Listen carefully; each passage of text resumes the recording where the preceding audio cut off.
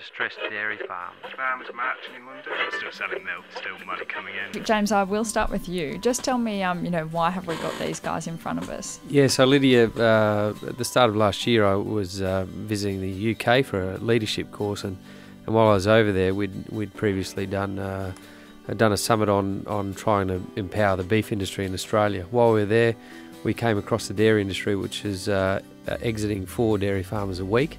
So hence we uh, we staged a summit uh, in November last year and built a a, uh, a case study around a, uh, I suppose a distressed dairy farm, an average dairy farm over there. Presented to CEOs and uh, political leaders, uh, business leaders. The event pretty much exploded, and as a result, we um, we gave prizes out for the best um, entry to empower that case study. So whoever could come up with a solution to make that distressed dairy farm um, sort of uh, prosper and uh, and more profitable, um, they were uh, they were exposed to a competition where they could win return trips to the outback. So we got a lot of uh, interest, and uh, and this is the result. We've got two entries, a joint entry from from Stuart and Tom, and then a, a, single entry from from Paul.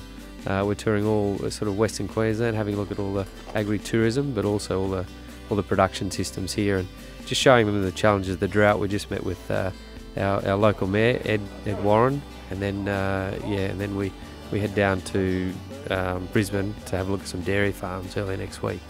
Stuart, I'll come to you. I imagine drought looks pretty different in the UK. What's been your impression of Western Queensland? Um, I think it's probably the just the scale of the farms, the numbers involved. Um, a drought or, or situation in the UK would probably last for a, a few weeks or a couple of months, but to come into a scale of the size of the land and the, the period whether it's sort of two, three years now, and then looking where it's going to be a, another year, two years before there's any money starting coming back into the businesses is just a, a completely new idea. Um, what were you hoping to get out of your trip? I think it was to try and pick up some ideas with how a, a different system or a different model deals with disaster or, or, some sort of stress on the business. The way it's a different system over here, it, they have to deal with things in a different manner, and it's trying to take a, a comparable from here and applying it to a different situation.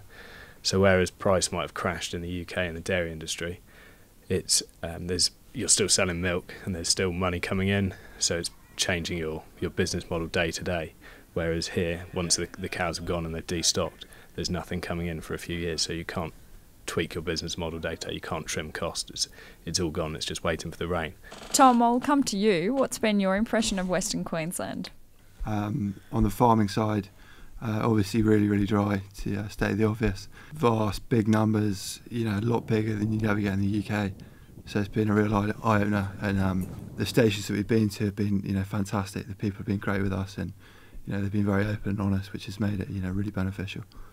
What are some of the key things that you think you'll take away from this trip? Um, for me, uh, the farmers in Queensland have to be very agile, uh, sort of destocking and you know being really frank with the feed that they've got. And you know they if they hang around, they lose money. So they're agile and they make a quick decision, and you know get out.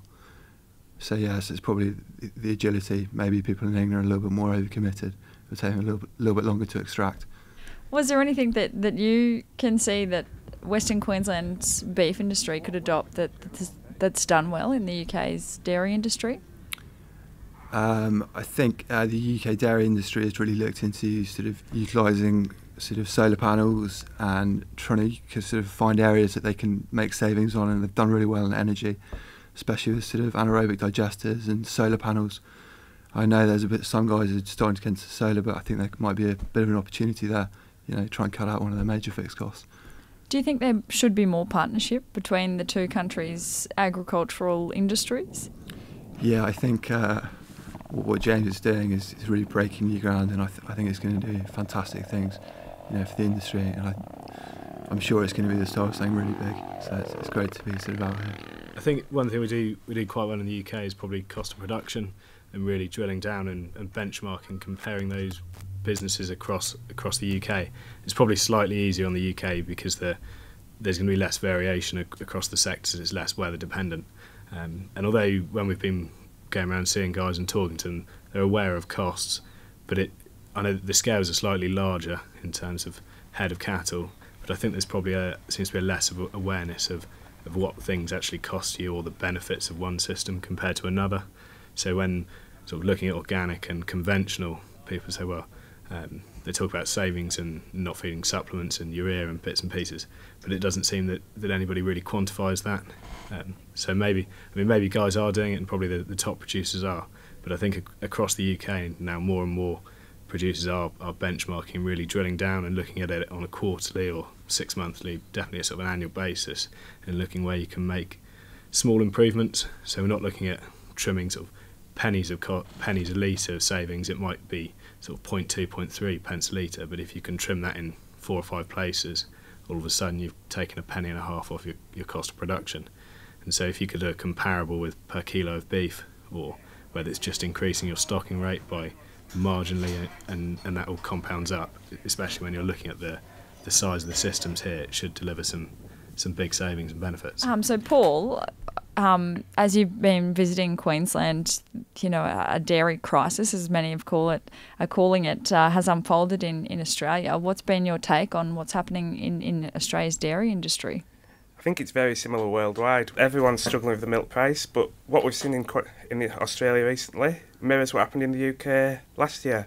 One of our dairy processors announced that they'd overpaid for their milk, and they decided not to pay us for two weeks' milk.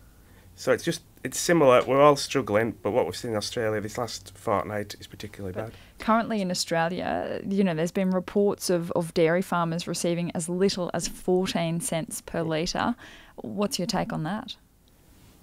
I don't know how they do it, keeping producing at that price. I know certainly that converts to seven pence per litre in our terms, which is totally unsustainable in the long term. You might be able to do it for a couple of months short term, but long term you're going to just eat into your your assets. You're going to have basically remortgage. I just feel for the farmers on that. So at the moment, there's plenty of uh, dairy farmers saying that, that that's it. They'll just have to walk away from the industry did that sort of thing happen in, in the UK? It happened in the UK and we're still seeing it happen. There's continuous exodus of the industry. The Farmers Guardian, which is our national farming newspaper each week, is continually full of dispersal sales. Cull cow numbers have risen, and we're starting to see the impact of that in the UK with dairy production slowly starting to drop. So hopefully we might see price stabilisation within the next couple of months this has been going on for over 12 months in the UK. Can you is there any hope that you can give to Australian dairy farmers? I think we, what we've seen these last couple of weeks from our time in Australia is the resilience the Australian farmer has. It's just a case of putting your head down and trying to cut your costs where you can, try and get food to the other side. Do you see a future in the dairy industry in the UK and globally? What we've seen these last 18 months has been a sudden price drop, which followed a considerable rise. Hopefully, that volatility is going to continue and we'll see a price rise coming soon, hopefully higher than last time. But I think it's something as an industry we're going to have to try and get to grips with and look at ways of managing it so that we save in the good times, ready for the bad times. In one of Australia's largest uh, supermarkets, they were selling milk for a dollar a litre. Is there anything like that in, in the UK? Yeah, there's been a, a lot of coverage. Um, what there be 50p a litre, and there's probably comparisons with um, with discounters offering offering very cheap milk. Um, whether and there's been a lot of negative press where whereby they've um, they're selling it for less than the cost of cost of production. But in in sort of response to that, some of the supermarkets have, have offered a, a premium price to to uh, to the dairy farmers through offering a, a higher priced milk that's labelled as a as we're we're selling selling this at 10p more than our standard standard milk per litre, and that extra 10p is going straight back to the farmers, and that was sort of fairly well publicised at the start, and the milk was flying off the shelves, showing that in the UK that consumers are happy to pay a little bit more for the milk, um, but there's certainly an appetite, I think, within the the UK market to support dairy farmers. Are dairy farmers in the UK subsidised by the government? The, as in the EU, we each dairy farmer received a payment last year. Each individual European government picked how they wanted the money to be distributed. We also receive our single farm payment, so we are subsidised in a way, but we also have extra regulation to cope with. Has it helped? It certainly helped, but it was a drop in the ocean when you consider the milk price drop. It's something that Australia could look at. I don't know how supportive the Australian government is of the producers. It's one of the parts that the the UK is lucky with being in the EU. We got that money. I'm not sure whether our government would do it. I have doubts whether our government would help us that, that way. Can you can you learn things from uh, the beef industry in Western Queensland to take back and apply to the dairy industry in the UK? Yeah, I think there's definitely um, I think an attitude of the farmers here. Um, there's a certain sort of resilience, and it's a it's a mindset that, that they know that potentially there's a drought coming, or they can see it with with weather, and it's it's preparing yourself to deal with that. Whereas the, the price cuts might not have been expected to come as quickly as they did or as harshly as they did. It's probably a temptation when profits are good in the UK to plough into new kit or to, to splash the cash.